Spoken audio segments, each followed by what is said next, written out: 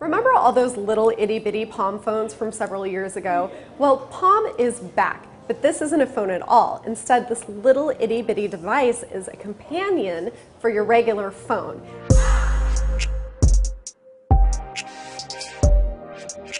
The new Palm pairs to your existing phone to become a second screen that you can really easily slide into your pocket or into accessories like a clutch, a bifold wallet, or a fitness sleeve, so you can take it on the go. You just use your main phone again when you come back.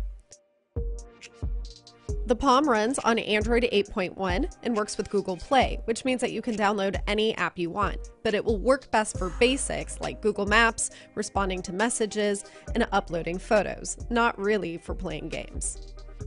Palm is taking its name literally because this thing is actually palm size. It looks like the smallest iPhone you've ever seen, down to its shape and the camera array on the back. There's a 3.3 inch pin sharp screen, which is important because the on screen keyboard is minuscule and so is a lot of the text that you're going to be reading.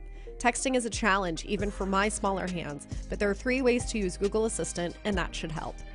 The Palm's only button is a power wait key on the side that you can double tap to launch Voice Assistant or the camera.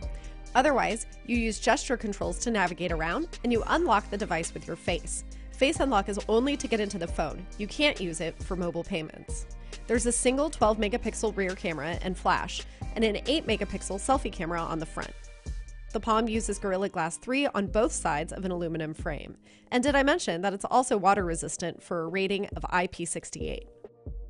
There's a tiny 800 milliamp battery that you charge through a USB C port, but there's no standalone headphone jack. While the Palm will technically sync with your iPhone, apps like iMessage and FaceTime won't work. It integrates best with Android. To help cut down on your phone addiction, the Palm has a feature called Life Mode. Turn it on and you block out most notifications and apps except for the ones that you OK in the settings.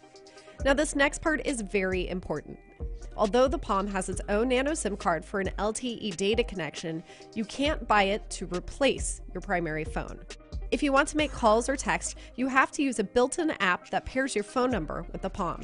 But you can still message with the apps that use Wi Fi. And yes, you'll have to pay a $10 monthly data fee to use the Palm.